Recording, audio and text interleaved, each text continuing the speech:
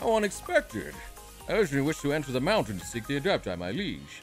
Yet now the Liyue seems to shed its skin with every passing day. Do poets such as I have any reason not to write a few poems of leisure?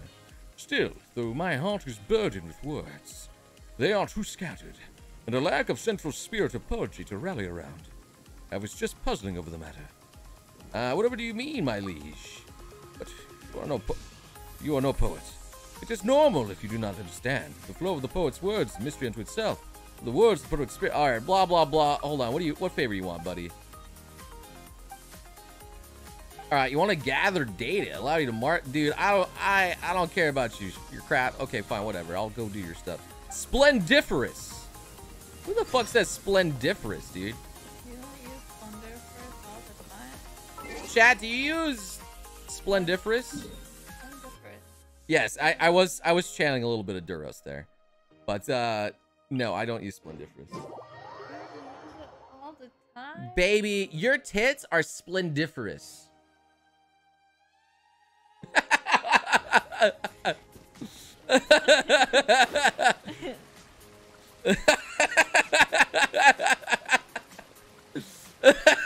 I don't even.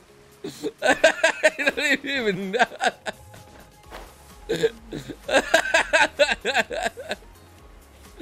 Oh boy, I I don't even I don't even know what to say there, man.